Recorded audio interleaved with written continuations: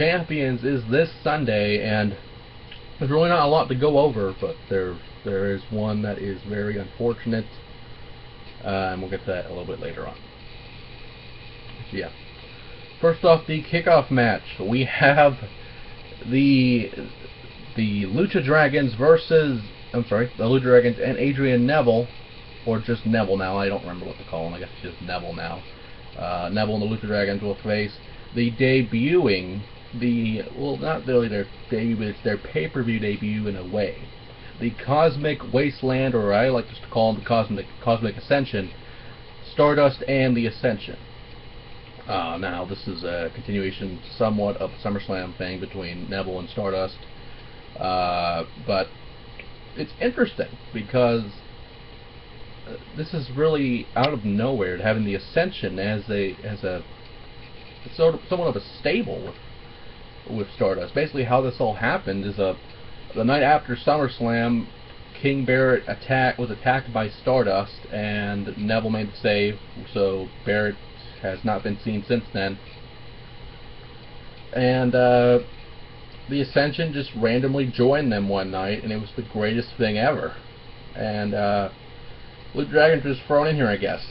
But um, this is a kickoff match, so this thing happens sometimes. But I don't mind it because it's a very interesting clash of styles here with the with the Lucha Dragons and Neville being basically the high flying team and Stardust being whatever style he has, and the Ascension just being the brawling LOD style team. It's a very interesting clash of styles here, but I, I will say that um, both of these teams are new, so I can't base it on, you know, it's the new team, they got to win. Uh, I would I would love to see the Cosmic Ascension win this one though, just because I love it. I love everything about it, and hopefully uh, this won't be the last time they team up, for sure. Speaking of tag teams, the next match for the WWE Tag Team Championships, the New Day defend against the Dudley Boys, Bubba Ray and Devon. And man, I've been waiting to talk about this one for a long time. Um, for those who don't know, the Dudley Boys, Bubba Ray, and Devon have held basically almost every tag team championship in the world. The WCW, ECW, WWE, both versions of it actually. The uh, uh, the World Tag Team titles and the WWE Tag belts that were on SmackDown for a while. Uh, not these ones, but the other ones.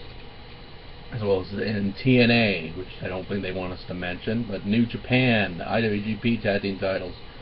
Um, God, I think they had one on the Indies in TCW as well. But the most decorated tag team, without a doubt, with the exception of the Road Warriors. Um, but this match, I don't know if there's any stipulation, doesn't even say. If it was a tables match, I would say Dudley's all the way. But New Day recently retained their belts against the Primetime Players, who cashed in their rematch. I don't know why they didn't do it at Night of Champions, but uh, there was that. And uh, it, it does depend on which members of the New Day will defend, but I can I can only assume it won't be Xavier Woods because he'll have the trombone, and the trombone has been the best part of Raw every week so far. Um, it, it's a tough one because I want to see the Dudleys win and just have another title run. I mean, you're bringing them in. Hopefully, they do that. But the New Day, other hand, won the belts recently on the last pay-per-view, which was SummerSlam, I believe. So there wouldn't be any point of dropping the belts, uh, them drop the belts either. Um, I want. I'm just in good faith. I'm just gonna say Dudley's just because I want to see him with those belts, and I'd be interested to see how how they would wear them because those belts are. I mean, with a new design on them, they look a little better, but the whole design's stupid. It, it, they're still penny belts to me, so it doesn't matter. And speaking of a worthless belt, not because it's worthless, but the person that holds it, Nikki Bella defends against Charlotte. And for those who knew uh, what was going to happen. Charlotte won the match on Raw and was supposed to be the Divas champion, but Brie Bella got involved. And unlike the Paige situation a couple months back, where Nikki Bella, where Brie just had stuff in her, stuffing in a bra, pretending to be Nikki, and uh, with that happening, uh, they just continued the match and Nikki won anyway.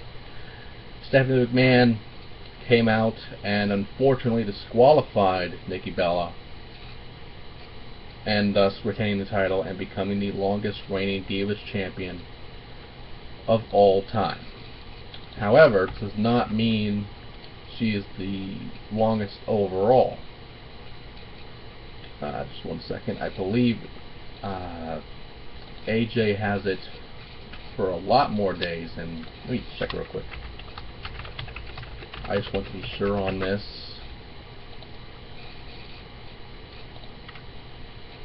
There it is. Wants to do it. Okay. Yeah. So, Nikki Bella is the current longest reigning in a single reign at 299 days. But if we're looking at combined reigns here, AJ Lee still has her by over 100 days in combined as of as of today. But uh, I don't know what you're going to do here because my gut was saying Charlotte won the belt, was going to win the belt, and this would be a rematch or of some sort. That way it would just happen. But now I don't know what to say here because this match. I mean, Charlotte should have won Monday. So it makes you think they're saving it for Sunday to make you pay for it and see if it's actually going to happen. Unfortunately, it probably won't happen. And honestly, here's why. If, like I said before, AJ Lee has the most combined key reigns at 406. As of now, Nikki Bella's combined total is 305 for two title reigns. If you're going to eliminate AJ Lee because of her association with Punk, which they have been doing uh, recently, you have to have her hold it for probably 444 34 days so we can get rid of Punk's longest reigning shit as well. Uh, which is unfortunate, but it has to happen. And finally, the Intercontinental Championship match, Ryback versus Kevin Owens. This is very simple. Kevin Owens will become the new Intercontinental Champion. There's not a doubt in my mind. And with that, Night of Champions is this Sunday. And, well, before we do, we have some time, I just want to go off of the World Championship match just because we've done it before, but it's an old style booking kind of way of doing things. Last week on Raw, or this week on Raw actually, Sting made Seth Rollins tap out with the to the Scorpion Deathlock, which unfortunately means that Seth Rollins will retain the WWE World Heavyweight Championship. That's just an old school booking. If the champion wins a, a match on Raw, he'll probably lose the belt. If if the challenger won on Raw against the champion, the challenger would probably win, and probably not win the belt. But with that being said, it's this Sunday, and I want to be proven wrong. I honestly do. Where every title's on the line except for a few matches, but we'll see what happens with that.